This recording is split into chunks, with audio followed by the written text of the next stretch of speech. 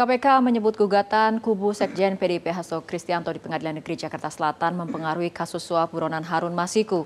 Atas gugatan ini penyidik KPK harus meluangkan waktu lebih untuk menanggapi gugatan dari kubu Hasto. Kubu Hasto mengajukan gugatan ke Pengadilan Negeri Jakarta Selatan atas dugaan perintangan penyidikan yang dilakukan oleh KPK.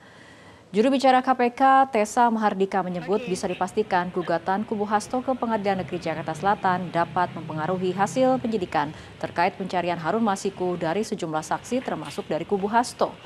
Meski merasa perkaranya dipengaruhi, KPK belum menilai gugatan itu bagian dari perintangan penyidikan.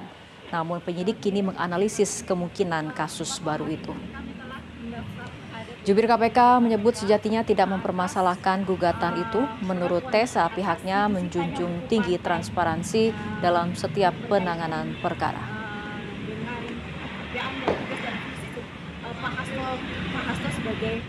Kembali menurut saya semua saluran resmi silahkan digunakan bagi pihak-pihak yang merasa berkeberatan atau menderita kerugian ya teman-teman uh, bisa melihat bahwa tindakan-tindakan tersebut tentunya cukup mempengaruhi